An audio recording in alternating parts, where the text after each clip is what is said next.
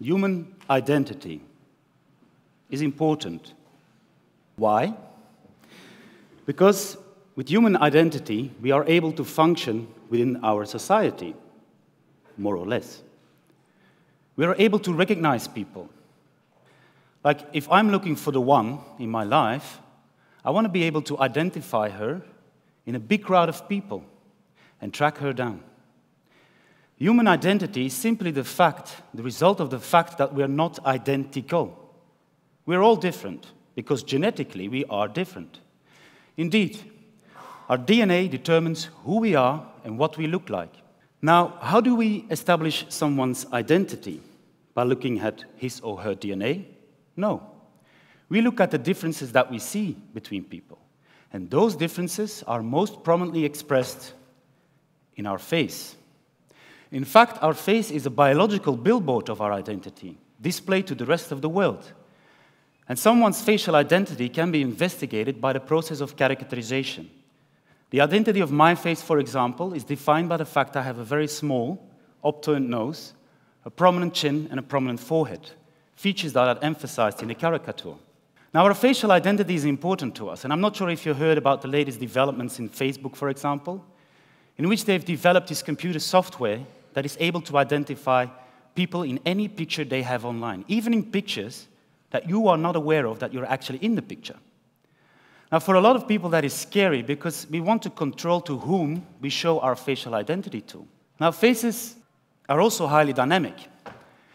If I tell you a joke, you laugh, unless the joke is really bad, of course, but then you might have the courtesy to smile.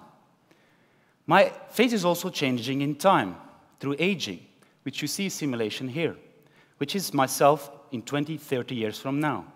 And I often use this kind of simulation to figure out the kind of woman that I'm currently dating. I would show her this result at the first or second date, depending on the timing, and I would tell her, like, listen, if you want to take this relationship seriously, you have to take this into account. I will change. I will look like this whether you like it or not. Now, considering my success in relationships so far, that's probably the reason why I'm still single today. Although there is one particular person here in the audience who should pay a bit more attention, and I hope her feet are not cold at the moment. Nevertheless, faces are fascinating, and it certainly became my passion to study faces 15 years ago during my PhD. I often stare at people's faces in public to a point where it really becomes embarrassing, and people asking me, Why are you staring at me? But sorry, sir, your face is scientifically so attractive. you should see the expression on his face. And the thing I'm currently investigating, in strong collaboration with Mark Shriver from the Penn State University, is the link between our DNA, on the one hand, and our face on the other hand. Imagine we can establish the relationship between both. That would mean we should be able to predict the face from DNA. So if I find some DNA traces left behind on cigarette butts or chewing gum, I would be able to trace back the evidence back to the person who left it behind just by looking at his or her face. Let's start at the beginning with a proof of concept, which is seen in identical twins.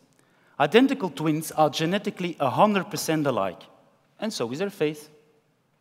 In other words, the same DNA profile generates the same face. And twins have always been a very interesting studied uh, subjects, not just identical twins, but also fraternal twins like the ones you can see here. And for a long time, twins have been our only window on how to figure out the genetic architecture of our faces. What we also know is that when two people are genetically different, so is their face. And if we increase the genetic difference, we will increase the facial difference. And this kind of variation, the way it is segregated, is nicely observed within families. On top, you see my, my parents. In the middle, you see myself with my brother and my two sisters.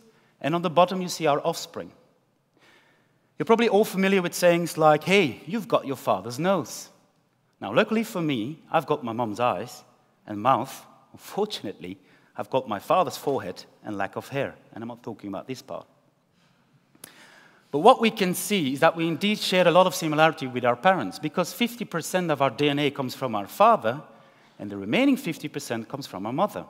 So hence these likenesses and these comments that people make. What we also see, if we look at the next generation, they only share 25 instead of 50%. with my parents and all their grandparents. In other words, this is how genetic variation is segregated over different generations. Now, if we zoom out from families to local communities, to local regions, countries, continents, and finally the whole world, that's why we see a whole range of genetic variability on the one hand and facial variability on the other hand, which is the result of many, many, many generations during evolution. And starting from the proper databases in which you collect DNA and faces of different populations across the world, you're actually able to study the differences between those populations in terms of genetics and faces. And as such, you are able to, to change the genetic background of faces, which I will illustrate here. Myself, I live in Antwerp, Belgium, and what I will do here is I will change my genetic background to different regions in the world. And we start our journey by going to Italy, not too far away. And what you can see changing in my face most prominently is, that is my nose is being elevated like the typical Roman nose. The next stop on our trip is Tokyo, Japan. And what you see happening is that my typical European profile is changing into an Asian profile, where the zygomatic structures are moving forward and the chin is slightly pressed backwards. Let's continue across the oceans, all the way to the other side of the world, and we end up in Mexico. The Mexican me has very smooth and rounder features, so everything is less sharp and pointy. If we travel up north to the States, more particularly Utah, we see the opposite effect. My features are becoming more prominent, and actually my skin is slightly paler than, than it is back in Europe. And in order to close the circle, we will end in West Africa. In the next slide. Yeah. And what you see changing here is changes in the lower jaw and the nose, besides skin pigmentations, which we could also see in the other simulations. Now, an interesting conclusion from these kind of studies is the fact of of the concept of race as we know it does not exist. What we see in the world is a continuous spectrum of genetic variability linked with a continuous spectrum of facial variability. These simulated brothers are my brothers from across the world, but are genetically strongly related to me. We share the same identity, but within different populations. There are two more populations in the world that are clearly different, both genetically as well as facially. And I'm talking about males and females. We all know that males and females have certain characteristics in their faces that we use to recognize a male from a female. Although I must admit, depending on the time and the place you are and the amount of alcohols you drink, it might become confusing, but nevertheless, in general, there are differences between males and females. And that has to do with the fact that males and females have been selected for different reasons during evolution. Like males have typically been selected for being strong and able to provide, and females have typically been selected for being fertile and producing offspring. And those selection criteria have shaped our faces today. Now, you're well aware that those selection criteria definitely have changed. Women are much more independent, and instead of looking for the alpha male, they're looking for a beta male, someone they can talk to and relate to. So I'm actually curious how the faces of men will look like in the future. Nevertheless, if we round up all those population-based studies, we can probably explain, explain up to 30% of the total facial variability that we see in the world.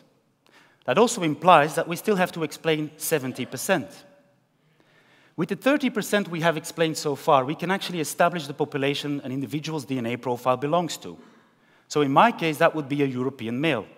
But of course, here in Europe, there are a lot of males fitting that description. So in order to establish my identity within my population, we need to tackle the remaining 70%. And that's where the biggest challenge is remaining, because it involves the study of genetic variations within a population. And in order to tackle this, we need to find genes, specific locations in your DNA that are affecting your face. And those genes are known as craniofacial genes. Craniofacial genes have been discovered by studying genetic disorders. In such disorders, parts in your DNA are broken, and we often see that. If you have a group of patients in which the same part of their DNA is broken, they often share the same facial characteristics. Which is illustrated here for the Down syndrome. Actually, the characteristics of the Down syndrome have been photoshopped onto the faces of athletes, well known athletes here in Belgium, as part of a campaign for the Special Olympics, because they want to make people aware that athletes participating in the Special Olympics deserve as much attention as athletes participating in the normal Olympics. But of course, you can imagine that the discovery of genes in this way is slow and complex because actually you are relying on when things go wrong in nature. And it's not until recently that we have developed, in collaboration with Penn State University, a technique that is able to investigate the effects of individual genes on normal range faces, people like you and me, which can be sampled by the thousands. And in this slide here, I'm just showing one of such genes and the effect. The gene is called LRP6, and we can clearly see that this gene, gene is playing around with the lips. On the one hand, on the far right, right, you have very thick bulges sticking out lips, just like Pamela Anderson, but this time genetically constructed instead of surgically.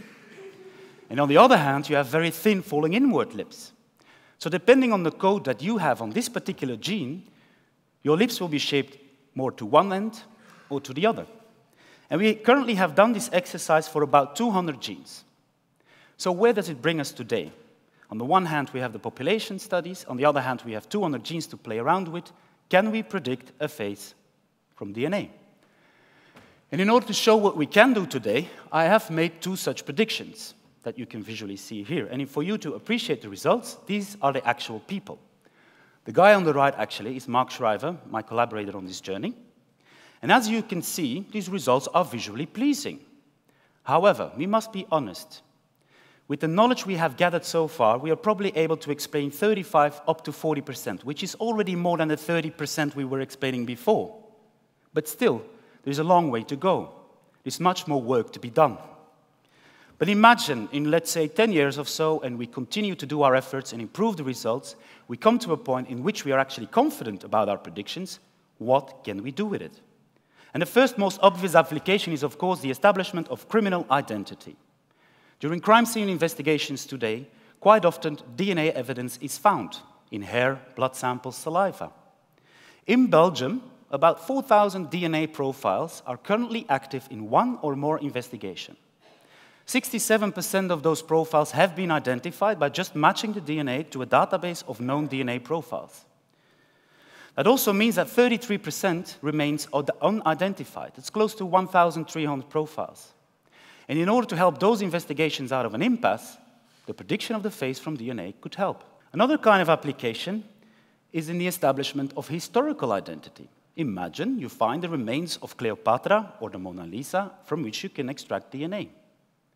As such, we can actually investigate if Cleopatra had indeed this big, beautiful nose that she was so famous for. And did Leonardo da Vinci actually painted the Mona Lisa as she looks like? Or did he change her or him? Another type of historical identity has to do with our own ancestors, which is done in genealogy. If, you have a if you're bringing a family in today and you would type the DNA of the current generation of a family, you are able to reconstruct the DNA of your ancestors. And as such, you can also predict their faces. So it's very much like creating a family photo album all the way back to Christ. And even beyond the year one, through a recent and quite interesting study, one has shown that there are traces in our DNA that actually originate from the Neanderthal. What if we could use those traces in our own DNA to reconstruct the appearance of the Neanderthal? Or at the very least, try to figure out what the facial features are that we have that, or, that we inherited from the Neanderthal. And finally, instead of looking back to history, one can also look at the future. From a moment there is a pregnancy, you can actually extract the DNA from your future child, and you, you can predict the phase of your child at the age of 20 or 25. Now, a bit more science fiction, but with the advancements in genetic engineering, one could actually design your baby. You could create a DNA profile creating a certain desired outcome. However, is this really something we want to do? What if you don't like the prediction of your future child? Just throw it away, start over?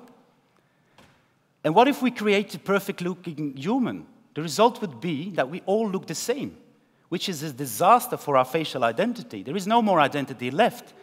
So instead of creating the perfect human, you create a dysfunctional society with a lot of psychologically disturbed individuals. Nevertheless, it's quite interesting to know that whenever I talk about facing your DNA in public, this is where the story ends. This is where the discussion takes place. People always focus on the bad things. However, one should not forget the good things like putting a peace of mind to a rape victim. But you can feel the tensions, nevertheless, around this kind of technology, which implies that a lot of ethical debates and legal regulations are to be taken place. As a matter of fact, here in Belgium, the law is restricting me to use this kind of technology, even during crime scene investigations. Now, is this law outdated or actually highly accurate and relevant? I don't know. But what I do know is that you should appreciate the imperfections and variations in faces that you see around you, and that you should not try to change those variations and this variability. And when you look at your own face, put a smile to it.